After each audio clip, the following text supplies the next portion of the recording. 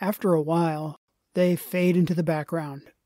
Those brown wooden signs with the yellow lettering that DEC uses to mark trailheads, campgrounds, boat launches, and most recently, conservation easements.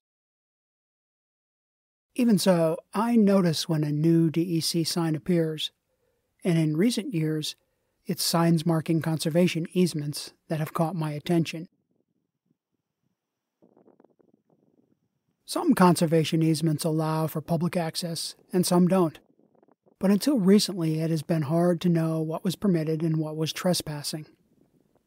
Few signs clearly indicated where you could go and it was not uncommon for posted signs to remain in place when, in fact, the state had paid the landowner to allow public access. Easements are agreements between a landowner and a third party, usually New York State, though some easements are owned by counties or conservation organizations. The landowner gives up some property rights for direct payment or sometimes for reduced property taxes. Providing public access is one reason why the state buys easements, but perhaps more important is the goal of limiting scattered development and preserving the use of the land for forestry or farming.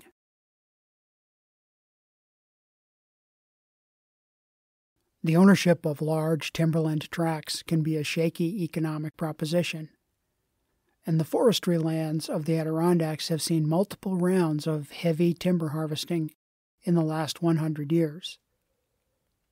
With the value of the timber reduced, owners can be tempted to sell off chunks, fragmenting the forest and potentially taking the land out of timber production.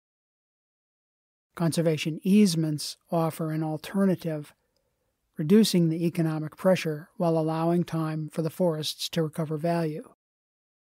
Owners can still sell the land or harvest timber, but in most cases the easements are deeded and go with the property. Some easements allow for unrestricted access, but many come with special provisions, and this is where you need to pay attention to the details.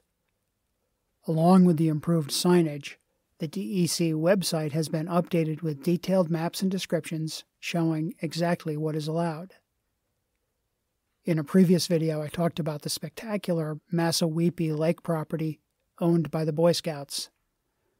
New York State has an easement on this property that allows for public access for most of the year, and a similar easement exists on the Boy Scout property at Cedarlands, just outside of Long Lake. The Cedarlands easement includes two attractive ponds and two summits that offer great views. Like Massawepie, public access to most of the property is restricted from late June through the end of August. However, the mud pond section is open to public use year round. Also close to Long Lake is the Township 20 easement on land owned by Upper Hudson Woodlands. This easement limits development over a large acreage, and it provides for public access to two small but noteworthy areas. One is an access point onto County Line Flow and Fishing Brook. The pond is a great place for birding, and Fishing Brook has long been known for good fishing. A second small public area provides access to state land in the Fishing Brook Range and especially to Burnt Mountain. Burnt Mountain is trailless, but experienced off trail hikers can easily reach the summit, which offers outstanding views.